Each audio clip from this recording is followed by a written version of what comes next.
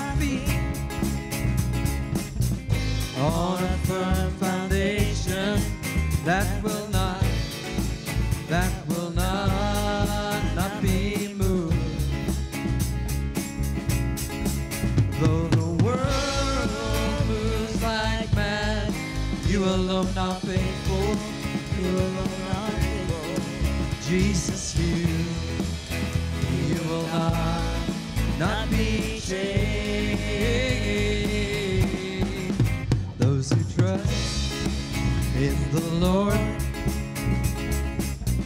are as Mount Zion. They will not, they will not, not be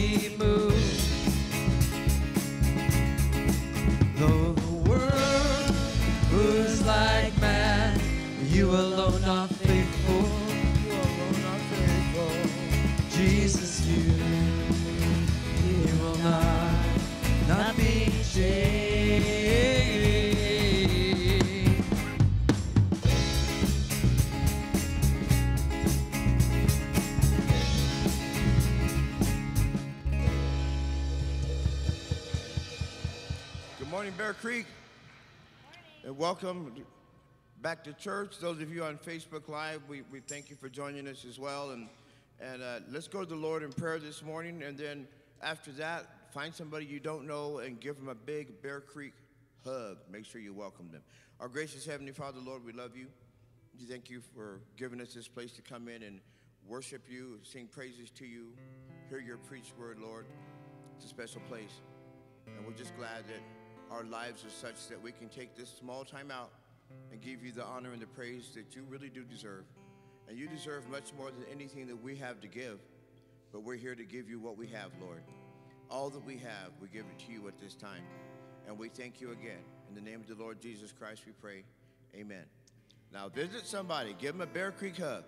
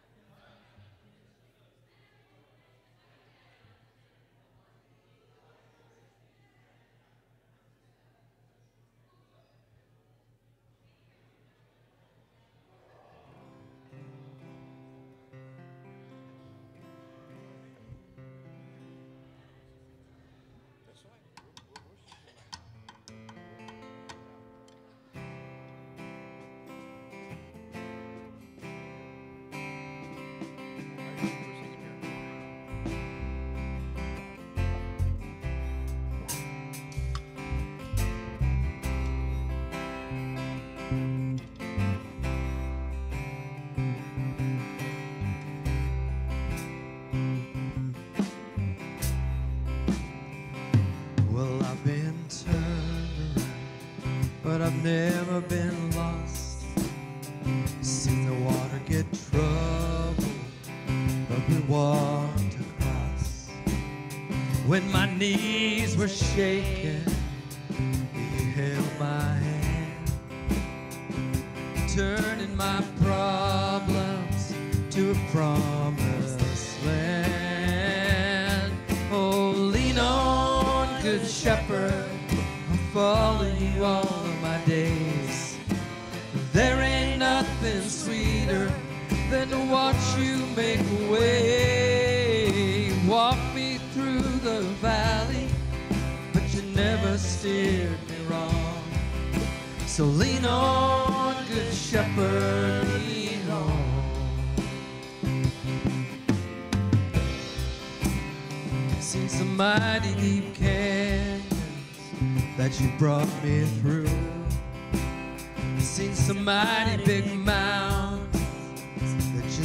and move. Glory, glory, hallelujah. Yeah, that's my song. I'm walking with my Father into the great unknown. Lean on, good shepherd. I'll follow you all of my days. There ain't nothing sweeter than to watch you make a way.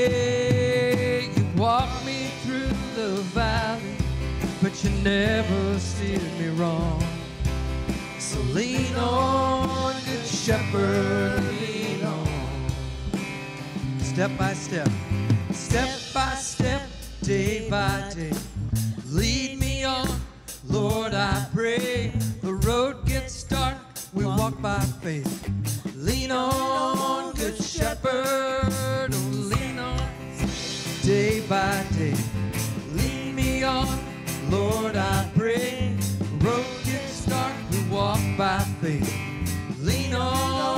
good shepherd, oh, step by step, day by day. Lead me on, Lord, I pray. The road gets dark, we walk by faith. Lean on, good shepherd. Lean on, good shepherd. I'll follow you all my days. There ain't nothing sweeter than to watch you make a way. Valley, but you never steered me wrong. So lean on, good shepherd, lean on. Step by step, step by step, day by day. Lead me on, Lord, I pray. The road gets dark, we walk by faith. Lean on, good shepherd, step by step, day by day. Lead me on, Lord, I pray. The road gets dark, we walk by faith. Lean on, good shepherd. Lean on, good shepherd. I'll follow you all of my days. There ain't nothing sweeter than to watch you make a way. You walk me through the valley, but you never steered me wrong. So lean on, good shepherd, lean on. And lean on, good shepherd. Lean on, good shepherd. Lean on, good shepherd, Lord,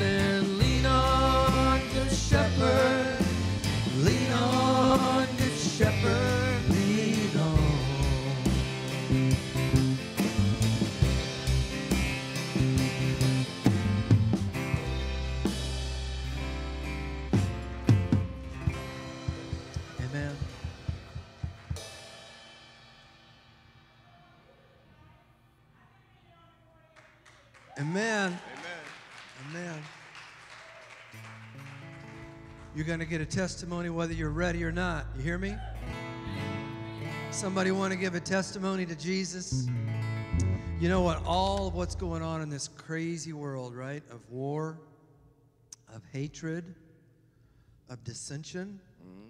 Sometimes we we kind of lose the fact that God is still in control. That the battle that we're in, it's already been won. Mm-hmm. Amen? Amen. We can claim that today. If you're here today and you've been battling, remember the one who's already won. Amen?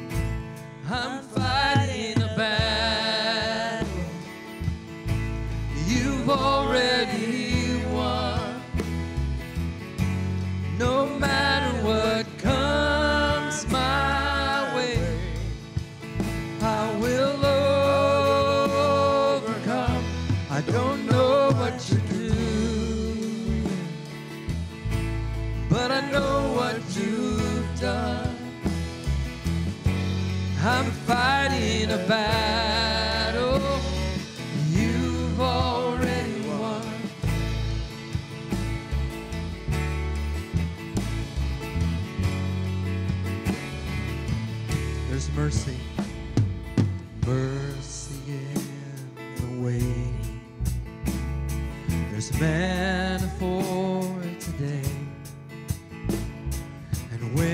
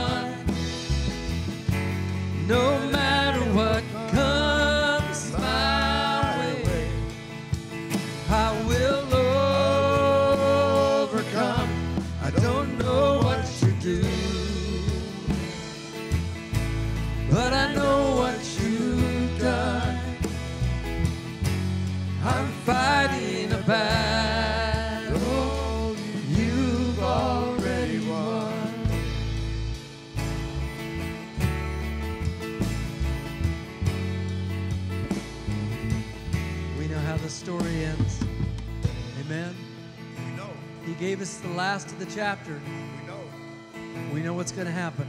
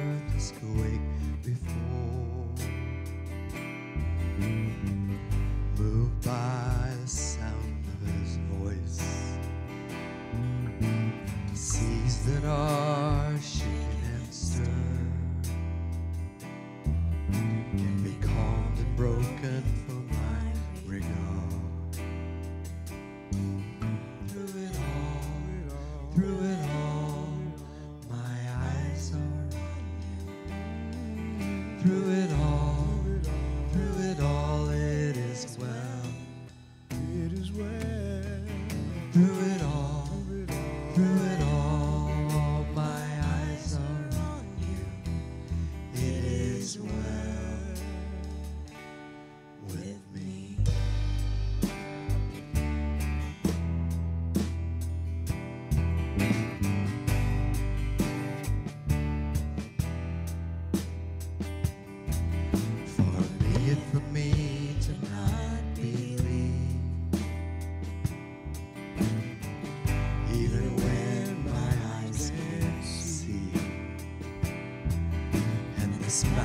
that's in front of me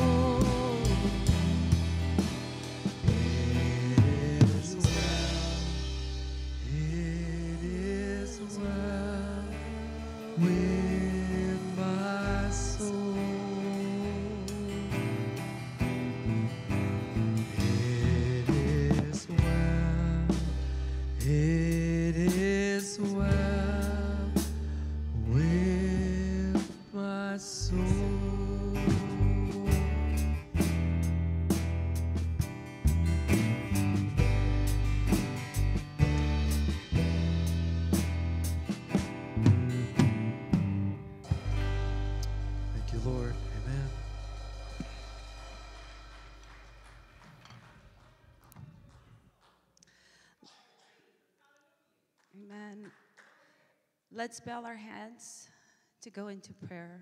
Father God, I just thank you, Lord, for this moment, Father God, where we could just come and praise you and meet with you, Lord, where we're at, Lord. You know what we're facing, you know what we're going through, you know what our loved ones are going through.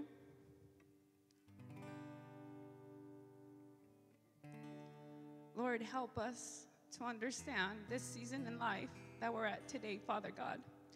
And today, when we hear your good news, Lord, I pray that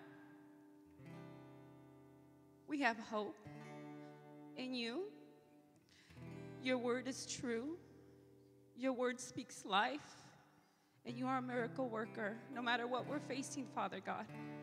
So today, Father God, as we hear your word, and we need to confess, Father God. May this be the time and the place that we do, Father God. And may we surrender to you, Father God. Because although the world is in a dark place as we speak, Father God, you have power, you have authority, you know what tomorrow's going to bring.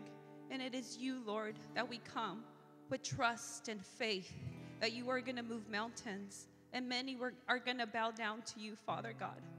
So today, no matter what we're facing, you already know what tomorrow's going to bring. So I pray that my sisters and my brothers and myself have hope in you. Come, Lord. Come and move mountains in our life and speak to us in a profound way that we know that it's you, Father God. We love you, we adore you because you are powerful. And we are going to see mighty things in your Son's name, Jesus Christ. And all his people said, Amen.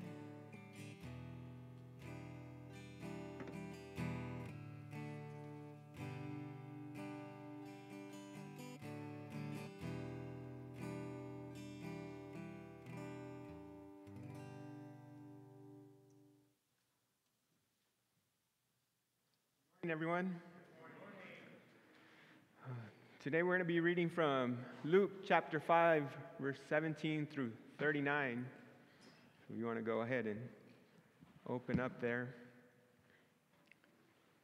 So far, we've been seeing how Luke has first pointed out how we should recognize who Jesus is as the Son of God through his birth and the announcement of his coming. And how even the devil and demons recognized who he was. And now, as we're going through it, we're going to see how he presents himself to the rest of the people and to those who should be able to recognize him the most, those religious leaders. So we'll go ahead and start in verse 17.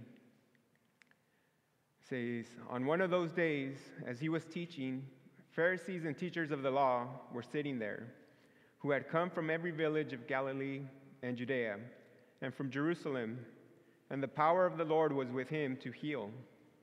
And behold, some men were bringing on a bed a man who was paralyzed, and they were seeking to bring him and lay him before Jesus. But finding no way to bring him in because of the crowd, they went up to the roof and let him down with his bed through the tiles into the midst before Jesus. And when he saw their faith, he said, Man, your sins are forgiven you. And the scribes and the Pharisees began to question, saying, Who is this who speaks blasphemies? Who can forgive sins but God alone? When Jesus perceived their thoughts, he answered them, Why do you question in your hearts? Which is easier to say, Your sins are forgiven you, or to say, Rise and walk? But that you may know that the Son of Man has authority on earth to forgive sins, he said to the man who was paralyzed, I say to you, rise, pick up your bed, and go home. And immediately he rose up before them and picked up what he had been laying on and went home, glorifying God. And amazement seized them all, and they glorified God and were filled with awe, saying, we have seen extraordinary things today.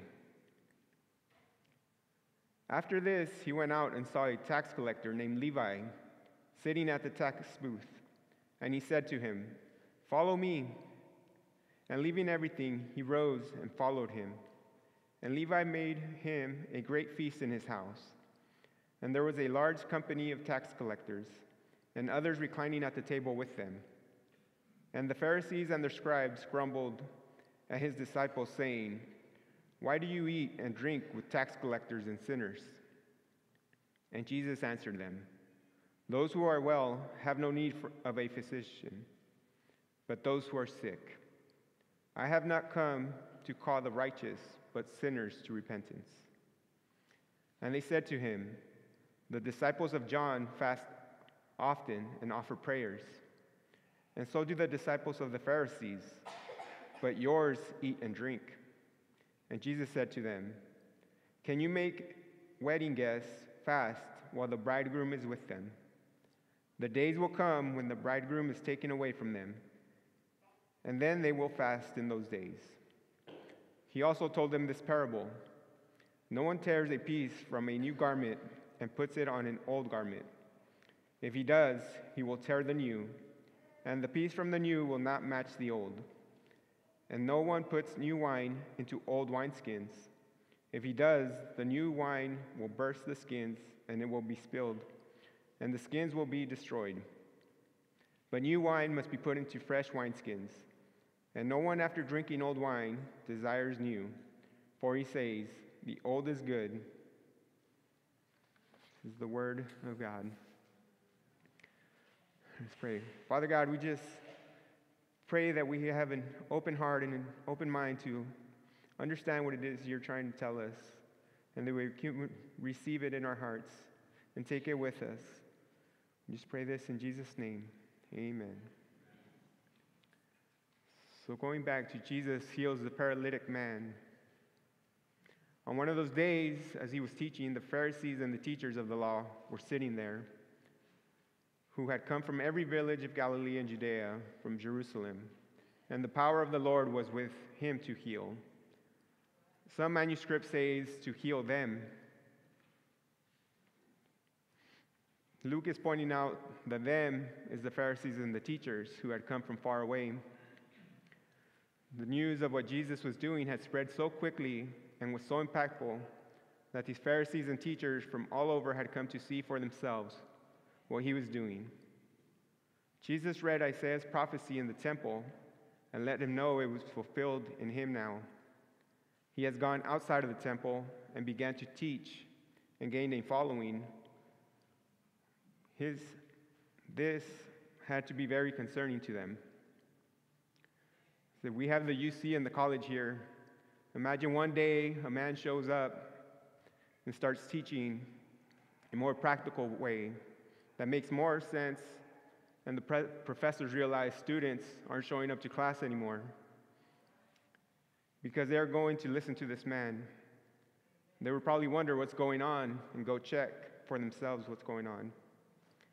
And what if they realized he wasn't just giving them information, he was transforming their lives on the spot? They would panic. They might fear they would lose their job.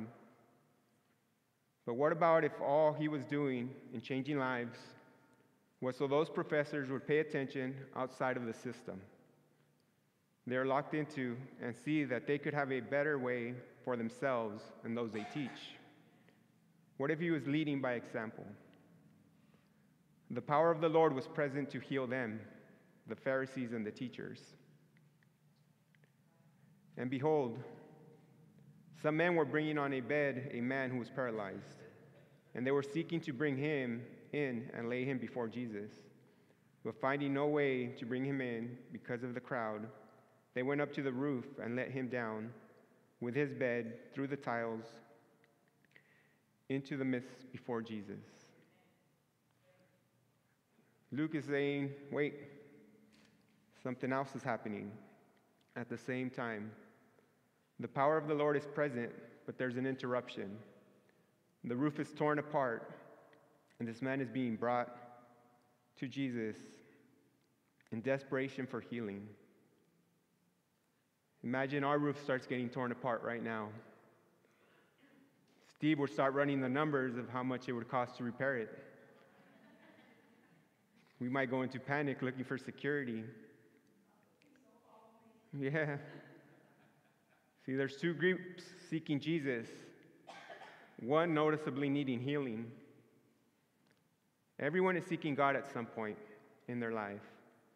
But because they need a life changing experience, someone got, some want God to make a change in someone else's life. Some want to understand what's going on. Some are just curious about why others believe. And some are trying to affirm their, their disbelief. And when he was and when he saw their faith, he said, Man, your sins are forgiven you.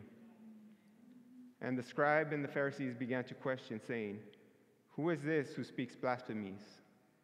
Who can forgive sins but God alone? We have to help people as much as we can, but we can all reach a limit and realize only God can finish the work. These men did all they could to help, but they were not able to heal the paralytic man. So they brought him to the one they believed could. It can be hard trying to help someone in need and realizing there's a point where you can, can't do anymore. That's when faith is tested. Jay shared his story last week of how his son was coming out of surgery and the panic of him not being able to breathe and just having that message of praying. At the same moment, I was working on this sermon, reading these same passages, and I had to realize that we were coming along like those men, bringing that situation to God in prayer. But even in that moment, there's that doubt of what if he's not healed? I think we all have that that happen in our lives when we're praying for somebody. We're so hopeful, but we know it's out of our control. And we want healing for somebody else for so many reasons, but we just don't know if it will happen. And sometimes it doesn't. Sometimes the healing we want is not the healing that Jesus gives. Jesus didn't heal the man physically. He recognized the desperate man's internal faith expressed through the outward action, and first he healed the paralytic's internal need even though it was obvious they wanted the man to be healed externally. In the same way, God knows the help we are trying to offer and the healing someone actually needs. And most likely it starts internally.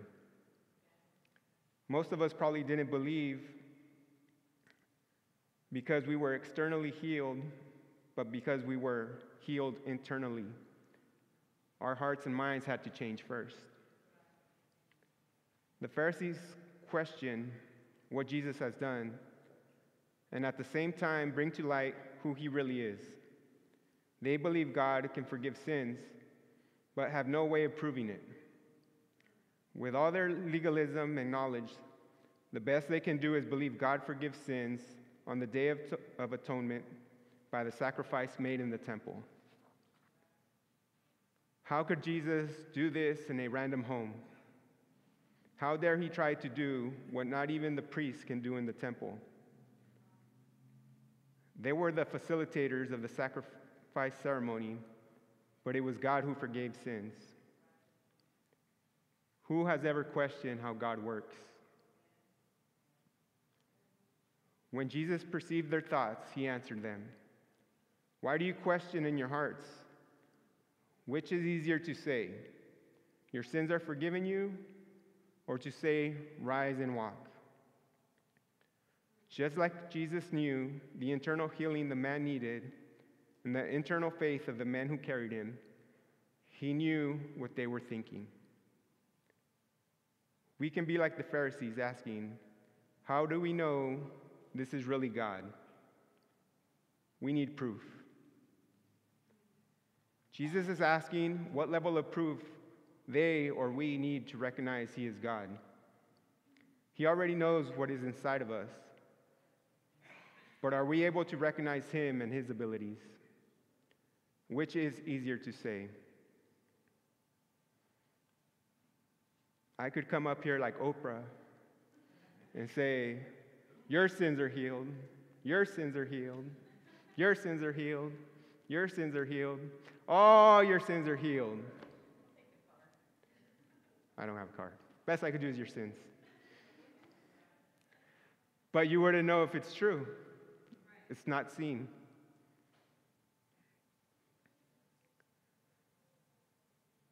Both are easy to say, but only the Word of God has the authority to make both possible. If I told Miss Mary chuck your walker and walk home, she'd look at me crazy and be like, it's not happening. It's not. I could say it, but it doesn't make it happen. But that you may know that the Son of Man has authority on earth to forgive sins, he said to the man who was paralyzed, I say to you, rise, pick up your bed, and go home. And immediately he rose up before them and picked up what he had been lying on and went home, glorifying God. And amazement seized them all, and they glorified God and were filled with awe, saying, We have seen extraordinary things today. In Jesus forgiving his sin, it would be enough for his salvation. But so that all may believe he is God, Jesus also physically heals the man.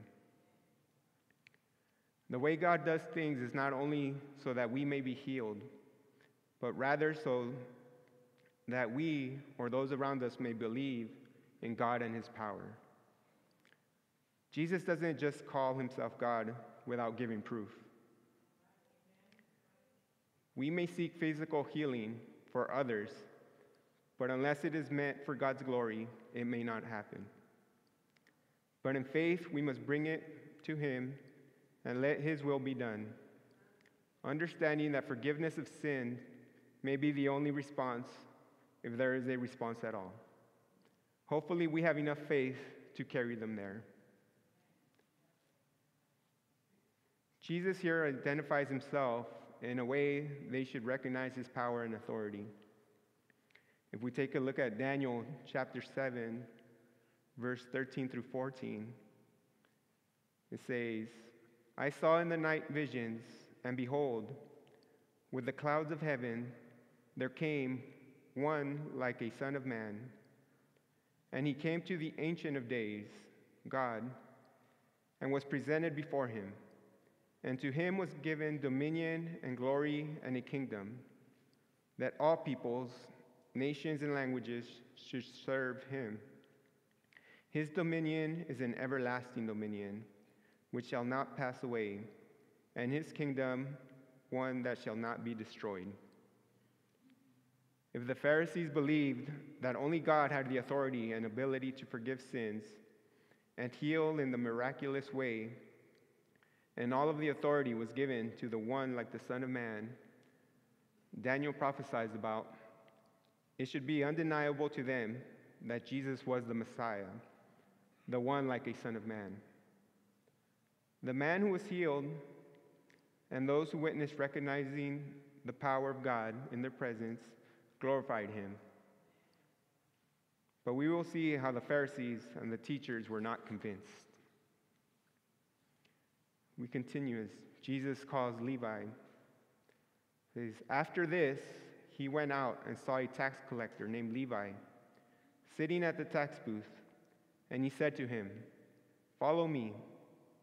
And leaving everything, he rose and followed him. Levi, the tax collector, is better known as the Apostle Matthew. In Matthew chapter 9, verse 9, says, As Jesus passed on from there, he saw a man called Matthew sitting at the tax booth. And he said to him, Follow me. And he rose and followed him. And he continues in chapter 10, verse 2 through 4. Says, The name of the twelve apostles are these First Simon, who is called Peter, and Andrew his brother, James the son of Zebedee, and John his brother, Philip and Bartholomew, Thomas and Matthew the tax collector, James the son of Alphaeus and Thaddeus, Simon the Zealot, and Judas Iscariot, who betrayed him. The Levi is a Hebrew name, which means joined. Matthew is a Greek name, which means the gift of God. Luke will also later use the name Matthew when listing the apostles' names. And even though he is called by different names, he is connected in different scriptures by, by the time, location, and career he held. The name change also showing a change from who he was before and after Jesus called him to follow. As we go back to verse 29, it says, And Levi made him a great feast in his house. And there was a large company of tax collectors and others reclining at the table with him, with them. And the Pharisees and the scribes grumbled at his disciples, saying, Why do you eat and drink with tax collectors and sinners? Tax collectors were pretty much hated because they took advantage of their people. The Romans had instituted taxes that had to be paid, but the tax collectors were able to keep for themselves any additional taxes they received. They were hated so much they were seen as equals to sinners and unwanted in society, even the temple. Levi or Matthew was obviously guilty of this, as we see he was able to host a large gathering for, of affluent people. Others who likely also gained position and power by taking advantage of others. But the Pharisees and the scribes were also there. Makes you wonder how much they rubbed elbows before, or were they just crashing the party? Levi also recognized the authority of Jesus. As a tax collector, he would have been very aware of all the things going on in his area. He would have likely been aware of what Jesus was doing. When called, he didn't say, Wait until my shift is over or let me gather what is owed for the day before following him. He dropped everything, quitting on the spot.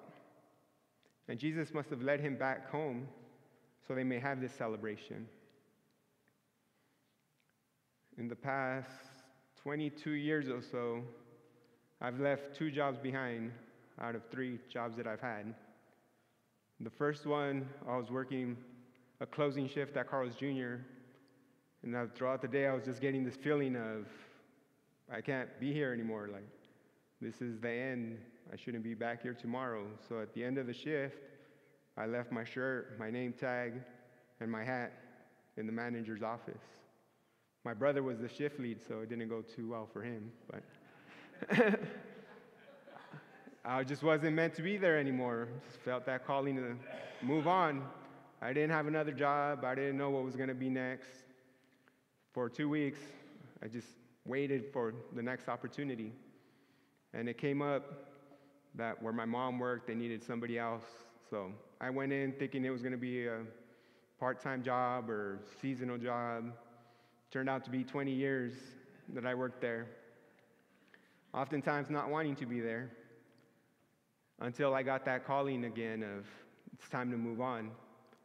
Again, not knowing what was going to be next, I gave my notice, and it actually took about a year before I finally left.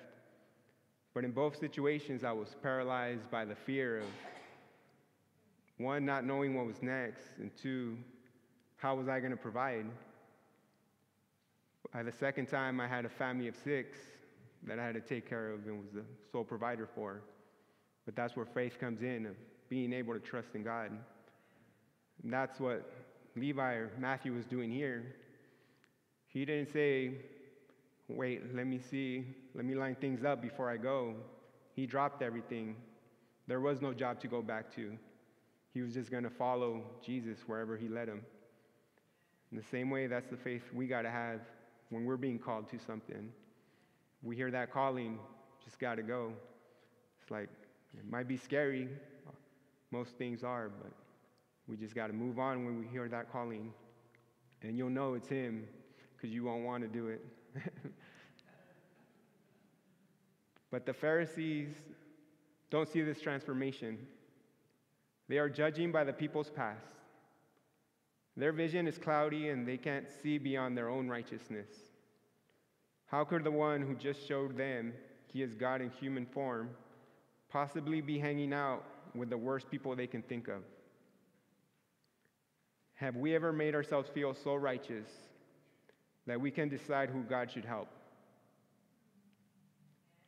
Why would God associate with people we don't want to be seen with? And Jesus answered them, Those who are well have no need of a physician, but those who are sick. I have not come to call the righteous, but sinners to repentance. See, Jesus is clear about his purpose. He came to heal sin. Jesus is often the great physician because of verse 31. It says, Those who are well have no need of a physician, but those who are sick. I have not come to call the righteous, but sinners to repentance. But we have been using it wrong. We call him the great physician in prayer for physical healing, but that is not what the verse is about. Like the paralytic, we need healing from sin first. Physical healing is a bonus. God is very capable of healing us physically, and it may come at some point if it brings Him glory. But Jesus was sent so we could be forgiven and live a life of repentance. When we pray for physical healing, we should also pray for spiritual healing, for forgiveness of sins, and a life of repentance. Like the man who carried the paralytic, we may not know the extent of a person's need, but Jesus does. And we should bring it onto him in faith that he will heal what is necessary, even though sometimes it will not look like the healing we hoped for. Jesus keeps asking these Pharisees to examine their heart and actions without saying it directly. He is being a physician in diagnosing their condition. He is the ER doctor in a waiting room full of sinners. They judge while Levi celebrates that his life has changed. He left his position, which would not be available for him to return to. Someone else would take that position and he would be leaving his home and these people to follow Jesus. Repentance is what led to the physical change of Levi. We don't read his sins being forgiven, but he acts as if they were. He changes his ways and follows Jesus. When we are healed internally, we express it ex- externally. And what do the Pharisees do? admit that they are sinners in need of healing? No. They appeal to their righteousness. go back to verse 33. says, And they said to him, The disciples of John fast often and offer, offer prayers, and so do the disciples of the Pharisees. But yours eat and drink. And Jesus said to them, can you make wedding guests fast while the bridegroom is with them? The Jewish people were only required to fast once a year on the Day of Atonement. If you take a look at Leviticus chapter 23, verse 26 through 27, verse 31, it says, And the Lord spoke to Moses, saying, Now on the tenth day of the seventh month, in the Day of Atonement, it shall be for you a time of holy conviction, and you shall afflict yourself, or shall fast, and present a food offering to the Lord. You shall not do any work. It is a statute forever throughout your generations in all your dwelling places. The religious leaders had added on more days of fasting throughout the year and weekly, often making themselves appear to be suffering in their fast to be noticed. But Jesus reminds them fasting isn't for their own praise or recognition. There is appropriate times for fasting, and while Jesus is present, it was not the time for fasting and mourning. It was a time for celebration.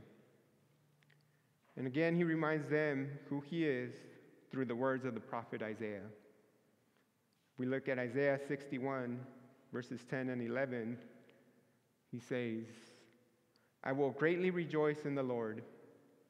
My soul shall exalt in my God, for he has clothed me with the garments of salvation. He has covered me with the robe, robe of righteousness.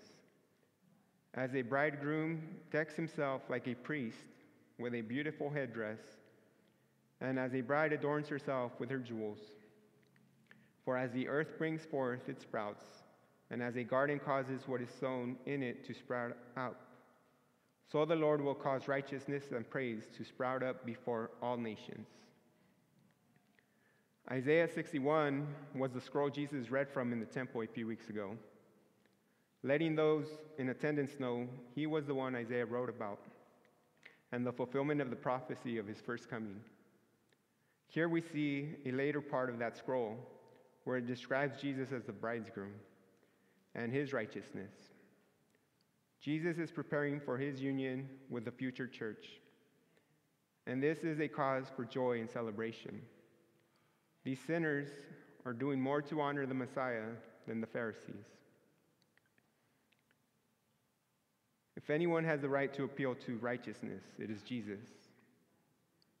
Again, this scripture is often used by people to describe themselves or the church as being clothed with salvation, salvation or righteousness. But they are not placed on either directly. They come from being in a union with the bridegroom Jesus. Instead of thinking of Jesus that was disrobed, beaten, and nailed to the cross, we can think of Jesus that showed up to marry his church, dressed in salvation and righteousness. Jesus showed up ready for what he was going to do. And if you wonder if this is correct, Isaiah also tells how Jesus will be dressed for his second coming. In Isaiah 59, verse 16 through 17, he, God, saw that there was no man and wondered that there was no one to intercede. Then his own arm, Jesus, brought him salvation and his righteousness upheld him. He put on righteousness as a breastplate and a helmet of salvation on his head. He put on garments of vengeance for clothing and wrapped himself in zeal as a cloak. Isaiah 61 shows Jesus dressed for an occasion of celebration. Isaiah 59 shows him dressed for an occasion of battle. Jesus wants to know if they're going to continue to disfigure themselves with sour and sad faces, doing fasts that are not necessary, or are they going to be a part of the celebration, being in the presence of the Messiah? The time for fasting and mourning his loss would come. He continues in verse 35 The days will come when the bridegroom is taken away from them and then they will fast in those days. Fasting, even if not required, has its place in time. There are situations that require us to get closer to God by eliminating food or distractions, a time when we focus on our dependency on, of Him. He also told them this parable No one tears a piece from a new garment and puts it on an old garment. If he does, he will tear the new, and the piece from the new will not match the old. I don't know, a few of you have probably patched up some clothes in the past and know that if you take an old piece of clothing and a new piece of clothing, they're going to shrink at different rates. You're likely to ruin the new. Instead of making it better, you just made it worse. But Levi was not adding following Jesus to his life. He is doing something new, leaving the old behind. He is placing Jesus in his new life. He is showing true repentance, having a change of mind, which leads to a change of actions. In the same way, Jesus' death on the cross would not add to the law being followed by the Pharisees or the box they were trying to make him fit into. Jesus came to start a new system of forgiveness that would complete the promises God had made. Jesus says they are cut from a different cloth. In Jeremiah, verse 31, or chapter 31, verse 31 and 33, says, Behold, the days are coming, declares the Lord when I will make a new covenant with the house of Israel and the house of Judah, not like the covenant that I made with their fathers on the day when I took them by the hand to bring them out of the land of Egypt. My covenant that they broke, though I was their husband, declares the Lord. For this is the covenant that I will make with the house of Israel after those days, declares the Lord. I will put my law within them, and I will write it on their hearts. And I will be their God, and they shall be my people. The time for this new covenant was then. Paul confirms it in Romans chapter 8, verses 1 through 4, as he says, There is therefore now no condemnation for those who are in Christ Jesus. For the law of the Spirit of life has set you free in Christ Jesus from the law of sin and death. For God has done what the law, weakened by the flesh, could not do. By sending his own Son in the likeness of sinful flesh and for sin, he condemned sin in the flesh, in order that the righteous requirement of the law might be fulfilled in, in us who walk not according to the flesh, but according to the Spirit. Jesus is setting himself apart from their expectations for the benefit of all who will have faith in him. The law made us aware of sin, but it could not save us from it. Jesus did. Again, walking in the Spirit is showing repentance from our sinful nature. Jesus continues in verse 37 And no one puts on puts new wine into old wineskins. If he does, the new wine will burst, and the skins, and it will be spilled, and the skins will be destroyed. Just like the garments being patched, they would use new wineskins for new wine because the wine would ferment causing the skins to expand. If they had put the new wine into an old wineskin that had already been stretched to its max, then it would break. The skin would be ruined and the wine would be wasted. So he says, but new wine must be put into fresh wineskins. These wineskins are a description of the people the old being people like the Pharisees and the scribes, who were not open to expanding their minds and hearts to the possibility of Jesus as the Messiah, or accepting his teaching and message of salvation, not from captivity and oppression, but from sin. The new being all who will receive him, his teaching, his forgiveness, and his healing. Are you flexible and willing to be stretched out to receive Jesus as Lord and Savior? Jesus came to do a new work. He had to pour new wine into new skins. This led to the formation of a new church. Paul says it this way in Galatians 2:16.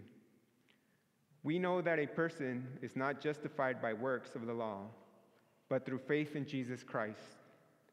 So we also have believed in Christ Jesus, in order to be justified by faith in Christ and not by works of the law. And Jesus continues, verse 39 And no one after drinking old wine desires new, for he says the old is good, or some versions say the old is better. I think most know that older wine is considered to be better, but not in this case.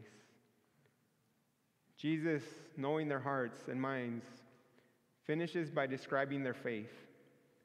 They are married to their traditions and believe the old way is the best way. They are not open to trying something new. They are stubborn and stuck in their ways. Even when all evidence points to a new and better way, they cannot see or receive it. Which leads to the questions How stuck in your old ways are we? What traditions or habits keep us from recognizing the work of Jesus in our life? We have seen three seemingly different stories, but they're all connected by the same interaction between Jesus and the Pharisees and the lessons that they missed. First, the forgiveness of sins is the priority of Jesus. He has in every person's life. No matter our physical condition, circumstances, past or future, He comes to the ones who recognize they need a Savior. In the same way, it should be our first priority in helping others. Whether it be through physically trying to help someone get to a place they can believe in Jesus, or we faithfully pray for their salvation, like the men who carried the paralytic, we must faithfully do what is within our power and trust Jesus will finish the work. Two, with forgiveness of sin comes repentance, a changing of the mind, and a change in our actions. The paralytic man and Levi both listened to the commands of Jesus and went on to live different lives. And three, be open to new possibilities, being led by the Spirit. The Pharisees were stuck in their ways to see forgiveness being possible through Jesus, or even open to the possibility of salvation through any way but obedience of the law. They didn't see themselves having to do anything different. Right now, there's a war between Israel and Gaza and Hamas, and a lot of it has to do over them both believing they're right and both believing they have claim to the same land. It is very much a battle that has been going on for many, many years and will likely continue because they are both stuck to their beliefs. They both believe they are right, and they both believe they have claim to a promise. But Jesus came to do more than just that promise. He came so that we would all be forgiven. Not so we could claim the land here, but so we would have a better place to go to. So we have a choice to make. Are we going to have faith like the men on the roof that all things are possible through Jesus? Are we willing to recognize we're all terminally ill through sin? Are we willing to accept it is only through Jesus that our sin is forgiven?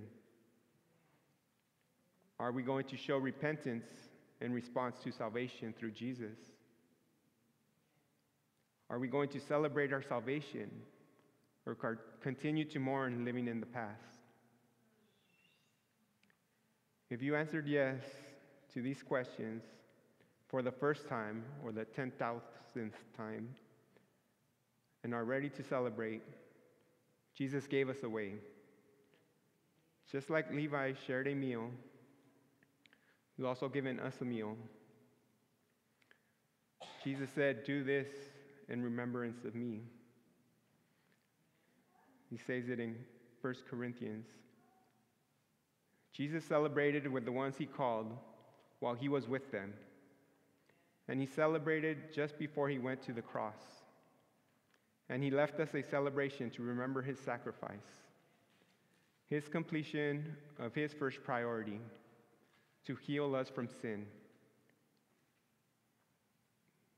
so we could walk in a new life. If I could have the couples that are going to do communion and the worship team come up, we'll go ahead and pray. Oh.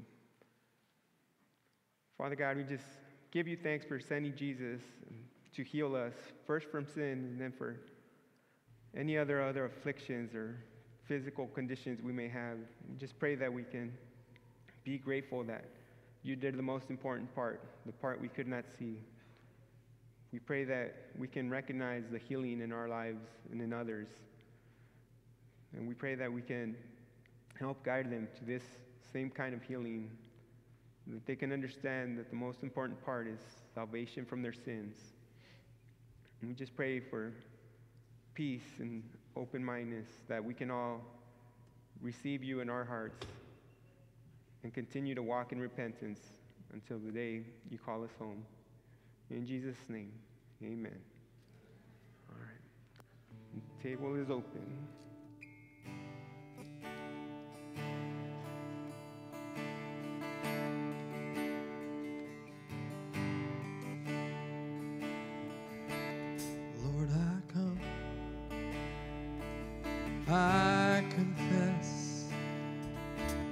my wings.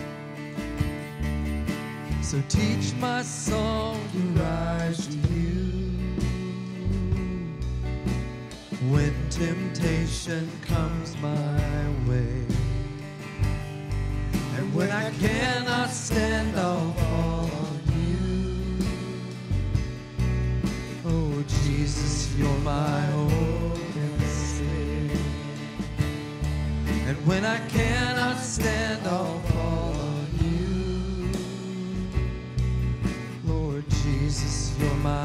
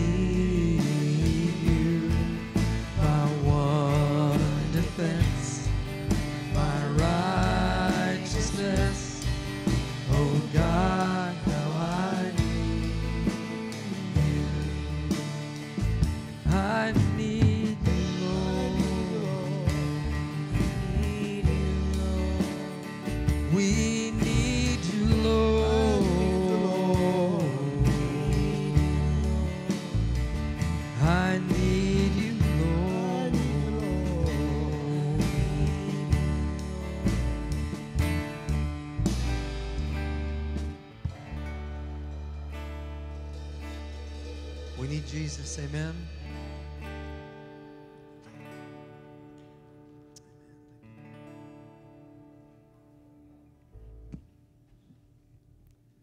Thank you. Good morning, Bear Creek. Hey, we just want to get you guys updated. There is so much going on around here. So, just to let you guys know how you can get plugged in throughout the week, um, Monday through Thursday at 5:30 p.m. we have Faith and Fitness. So we have our gym in the back, and it's just a time of growing together uh, spiritually and physically. So 5:30 Monday through Thursday. Tuesday nights we have Chain Breakers at 7 p.m. That is for anybody who is struggling with addiction or you just want to come alongside other people who are struggling with addiction. Maybe God's given you victory in that area and you're able to pour back into somebody else. Tuesday nights at 7 p.m. Uh, Wednesday night, this Wednesday night at 6:30, we're going to have a night of prayer right here in the sanctuary, so you can come, come get involved in that. Thursday nights, we have a rooted group going on at 6:30, and so that's just our standing weekly stuff that's going on. But this week, uh, we want to talk about some other stuff because next Sunday, we're going to have baptism here. We have a few people, several people that uh, God is just at work in their life and they want to take that step of obedience and just proclaim to the world that Jesus Christ is their Lord and Savior and they're identifying publicly with Him. So, next Sunday after service, we're going to have baptism for several people. So, stay, uh, join us for that. It's just an amazing day. I remember February 13th, 2005, the night I got baptized. And it's just an, amazing part of your, your journey. If you haven't done that yet, there is a sign up out front. Uh, please sign up so I can get a hold of you this week and just talk about what that means. But next Sunday after service, we're going to have that. Immediately after service today, we're going to have a meeting. Uh, this is Bear Creek Community Church, and we love to serve our community. And so, once again, this year, we're going to have our drive through Thanksgiving. And so, we just want to have a meeting to talk about uh, ways to volunteer and, and be involved in that. So, we've done this a few times. I think last time we served about 800 people, 800 or so meals to the community. Everybody can just drive through, pick up some food, and it's just amazing day. And, and this is our way. We always talk about, you know, finding your place on Team Jesus. How do we get involved? How do we join in what God is doing? And so this is our way to give back. So immediately after service today, there's several different ways you can help out. So prepping the food, um, we need runners to take the food out, and then we offer prayer for every car that drives through the, the parking lot. If they want to pray, we have a team of people that's available to pray for them. So think about, pray about right now how you can help out with that. But we're going to talk about that um, immediately after service today. And we have another like family fun day coming up on November 5th. So we'll have more details as we plan that out. Uh, it's going to be just a meal celebrating all of us and the, all the different ministries going around here, and some games and stuff for the kids to have a family day. So um, other than that, we are also going to have a membership class coming up. There is a sign up sheet in the front. We're going to do that in the next couple weeks or so here. We're going to get the date nailed down, but I just wanted to let you guys know there is a sign up sheet out in the front for if you would like to join and become a member here at Bear Creek. So lots of stuff going on. We just wanted to give you an update and thank you for being here. God bless you, brother. Also, um, not in your announcement sheet, but something that's going on tonight at Central Pres uh, Central Presbyterian Church in downtown Merced. Uh, it's going to be what's called a gospel sing. And about 15 or 20 churches that are going to be coming and bringing groups. They've asked me to direct the uh, pastor's choir, so that's already scary for me personally. But anyway, you're welcome to come to that. That time it starts tonight at six o'clock. If you'd like to join, uh, there's going to be a whole bunch of churches from all over the valley there. It should be fun. the Lord bless you as you give today. Um, you know, when the Son has set you free, you are free indeed. Amen.